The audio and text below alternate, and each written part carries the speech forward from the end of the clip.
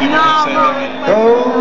who are dead are not dead, they're just living in my head.